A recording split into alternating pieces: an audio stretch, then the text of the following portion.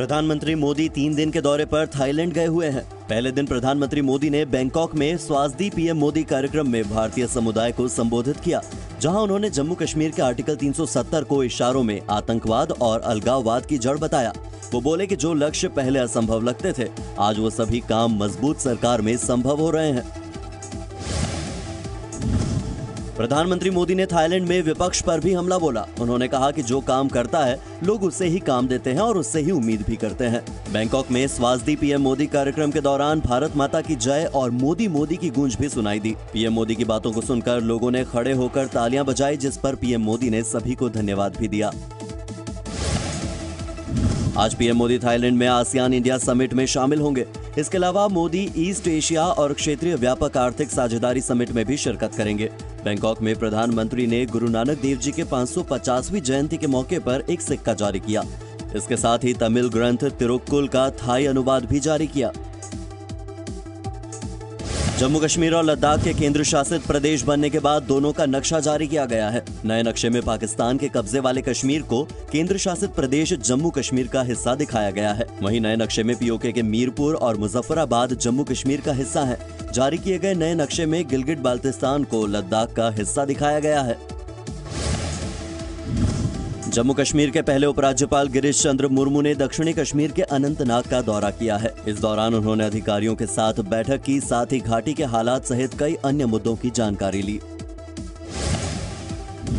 अमेरिकी विदेश मंत्रालय ने आतंकवाद पर अपनी सालाना रिपोर्ट में कहा है कि पाकिस्तान में अब भी आतंकियों की भर्ती हो रही है और वो फंडिंग जुटा रहे हैं। रिपोर्ट के मुताबिक पाकिस्तान आतंकवाद पर लगाम लगाने में पूरी तरह से फेल रहा है। अफगान, तालिबान और हक्कानी नेटवर्क पाकिस्तान में सक्रिय हैं। यही नहीं, आतंकी संगठनों से जुड़े लोग चुनाव में हिस्सा भी ले रहे हैं। रिपोर्ट में अमेरिका ने भारत को आतंक के खिलाफ कार्रवाई में अपना सबसे बड़ा साथी बताया। संयुक्त राष्ट्र सुरक्षा परिषद में नवंबर महीने में कश्मीर मुद्दे पर कोई चर्चा नहीं होगी। यूके की स्थायी प्रतिनिधि और सिक्योरिटी काउंसिल की मौजूदा अध्यक्ष कैरन पियर्स ने कहा है कि फ़िलहाल दुनिया में कई तरह के मसले चल रहे हैं। जहाँ तक कश्मीर का सवाल है तो इस महीने चर्चा के लिए उसे शेड्यूल नहीं किया गया है। पाकिस्तान में प्रधानमंत्री इमरान खान के खिलाफ विपक्षी दलों का आज़ादी मार्च अब भी जारी है। बड़ी संख्या में प्रदर्शनकारी इस्लामाबाद में मौजूद हैं। आज़ादी मार्च की अगुवाई करने वाले जमियत उलेमा इस्लाम फजल के मौलाना फजल उर रहमान का आरोप है कि इमरान को चुनावों में धांधली करके सेना ने प्रधानमंत्री बनाया है। मार्च को कई विपक्षी दलों का भी समर्थन मिला है।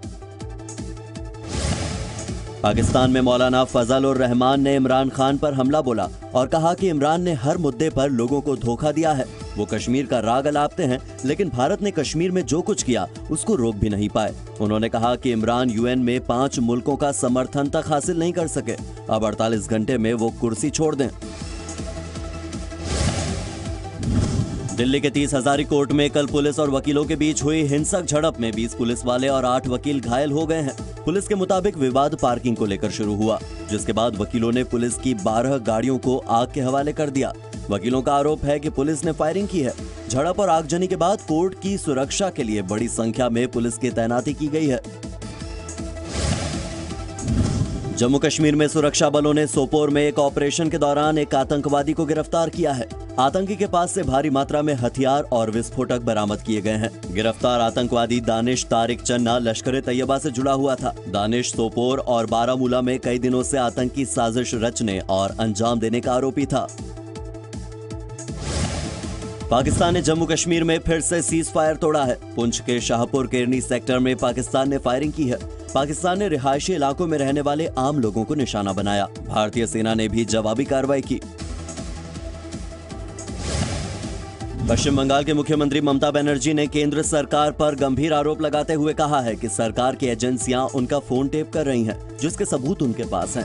व्हाट्सएप जासूसी मामले में उन्होंने केंद्र सरकार को जिम्मेदार ठहराया है ममता ने कहा कि सरकार मीडिया जजेस और अन्य महत्वपूर्ण हस्तियों की गतिविधियों की निगरानी के लिए इसराइली कंपनी एनएसओ ग्रुप का सहारा ले रही है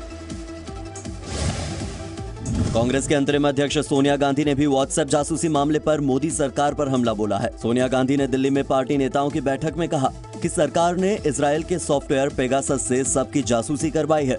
उन्होंने कहा कि ये काम न सिर्फ़ असंवैधानिक है, बल्कि शर्मनाक भी है।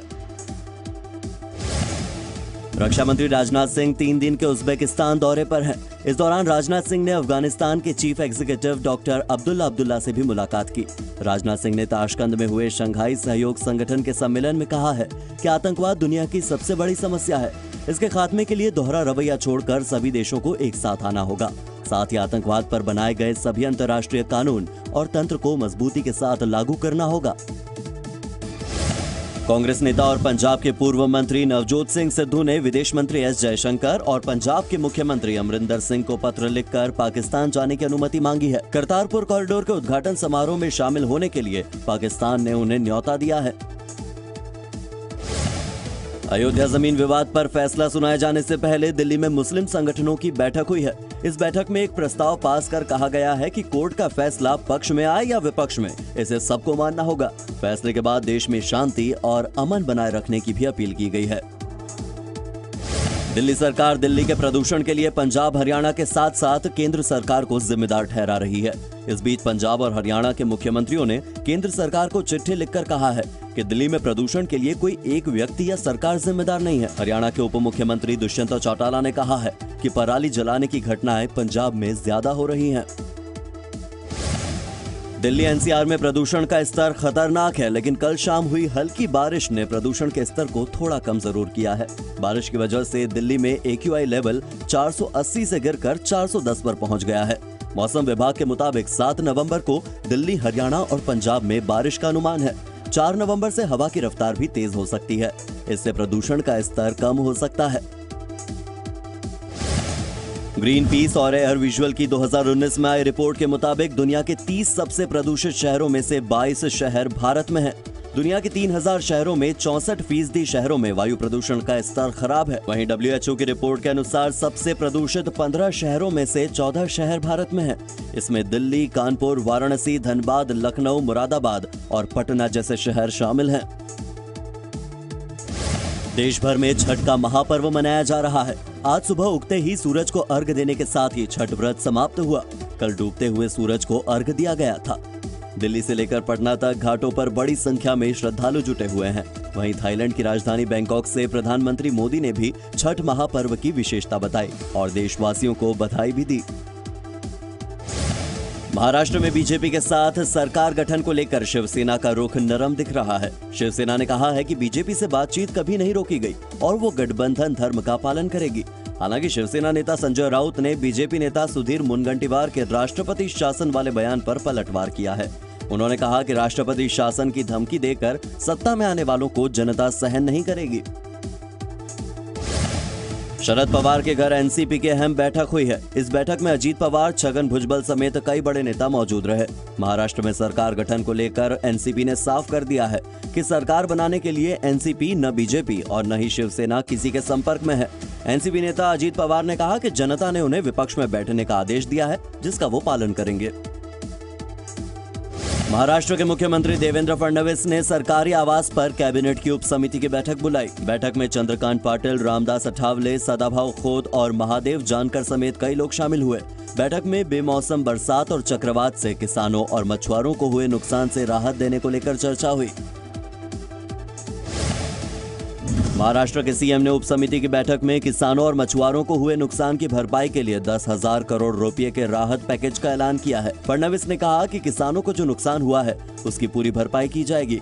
उन्होंने कहा कि अभी नुकसान का पंचनामा जारी किया है, इसलिए मदद को लेकर अंतिम आंकड़ा तय नहीं है, लेकिन दस हज़ार करोड़ रुपए की राशि ज़रूर जारी की जाएगी। एनसीपी ने महाराष्ट्र सरकार पर निशाना साधते हुए कहा कि किसानों के लिए दस हज़ार करोड़ रुपए की मदद नाकाफी है।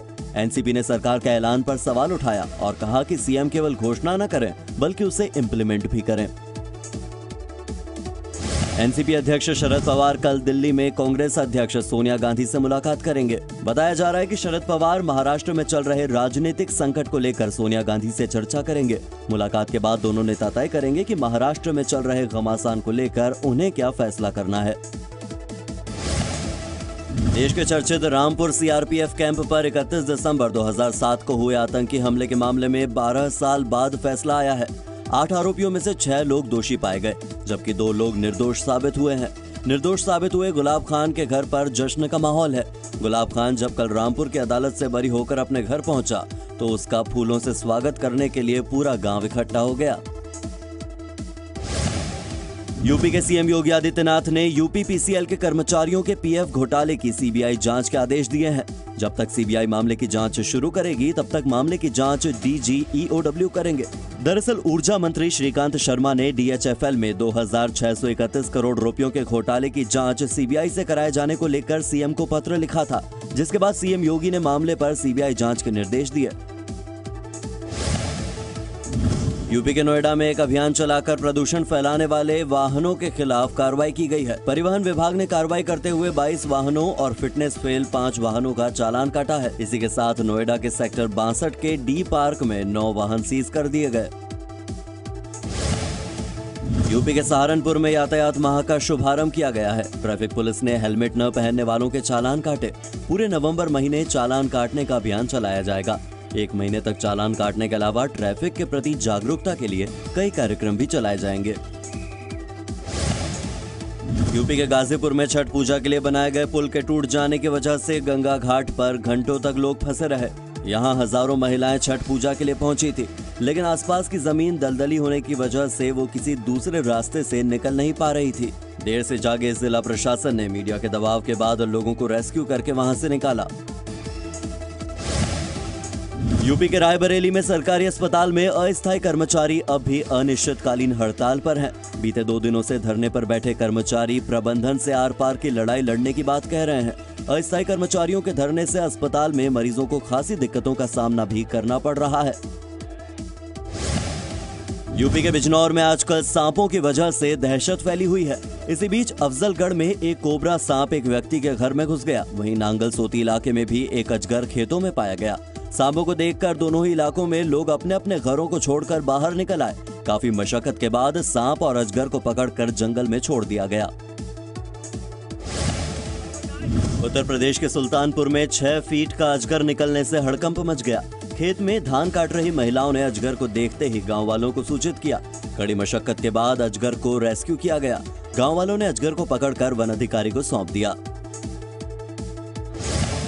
दिल्ली के साथ ही उत्तराखंड के चमोली में भी अचानक मौसम का मिजाज बदला है। बद्रीनाथ में बारिश के साथ ही पहाड़ी इलाकों में बर्फबारी हुई है। बर्फबारी और बारिश के कारण ठंड बढ़ गई है। बद्रीनाथ की यात्रा 17 नवंबर तक जारी है, लेकिन मंदिर में आने वाले श्रद्धालुओं की भीड़ में कमी आई है।